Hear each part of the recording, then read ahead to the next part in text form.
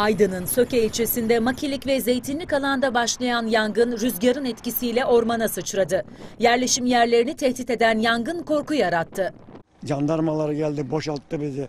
Böyle bu yol boyuna hepimiz karı çocuk insanlar. Biz Irak olduğumuza pek korkmadık da niye orman yanar diye üzüldük.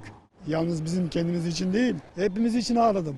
Sızladım. Çok kötü insan bunu yapan insan. Bu kadar insan zalim olamaz. Yangın Yeni Doğan Mahallesi Güllübahçe yolundaki eski atış poligonu civarında başladı ve Zeytinlik alana yayıldı. Kısa sürede büyüyen yangın Ağaçlı ve Yenikent mahallelerine kadar uzandı. Tedbir amacıyla 90 ev boşaltıldı.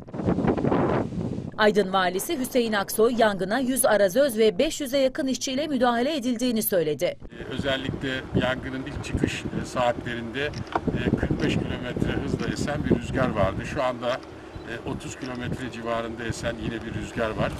E, Hava şartları yangına müdahale konusunda bizleri oldukça zorluyor.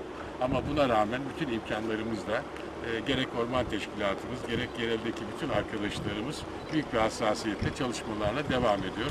Yangına İzmir, Denizli ve Isparta'dan gelen söndürme ekiplerinin yanı sıra 6 helikopter ve 2 uçak da müdahale etti. Gece saatlerinde rüzgarın durmasıyla etrafı çevrilen yangın sabaha karşı saat 4 sıralarında kontrol altına alındı. Tahliye edilen 90 hanedeki vatandaşlar da evlerine döndü.